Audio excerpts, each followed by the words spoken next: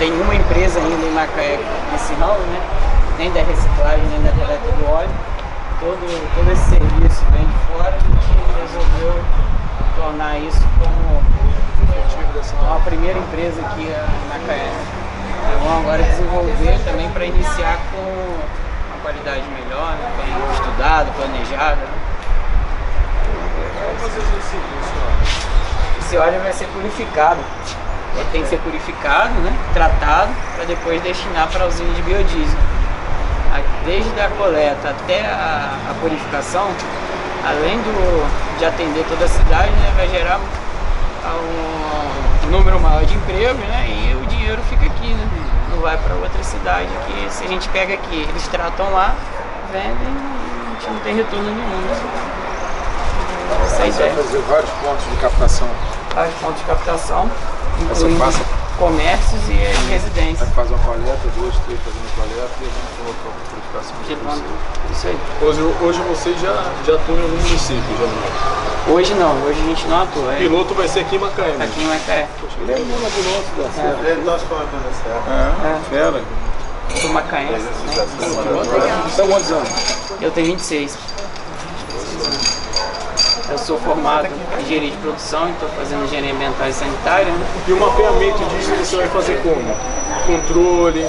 Vai ser através do aplicativo. A gente quer que o aplicativo trabalhe para a gente. Né? Então todo aplicativo ele vai, através do georreferenciamento da cidade, é que vai nos dar as rotas mais rápidas né? e, é claro, mais econômicas para não gastar tempo e nem dinheiro ah, buscando esses, é, a quantidade de óleo em outros lugares que não é viável. Né? Porque até para a gestão de tudo isso daí, o nosso trabalho já, já se linka em alguma coisa de vocês. Ah, o nosso trabalho ele foi desenvolvido para a de segurança do trabalho. Porém, a segurança do trabalho não pode atingir a área de gestão, a área de controle de algumas coisas, e você consegue mapear tudo isso também pela geolocalização porém você gera planos de ação dentro disso daí, até mesmo para o seu cliente. e o óleo, como o óleo era descartado de uma forma assim, você pode criar um histórico de cada cliente seu dentro do nosso aplicativo e do nosso sistema também. Bom, também bacana. Então a gente vai começar a trocar ideia com todos aqui, a gente vê que tudo acaba Não, se entrelaçando, é, se envolvendo.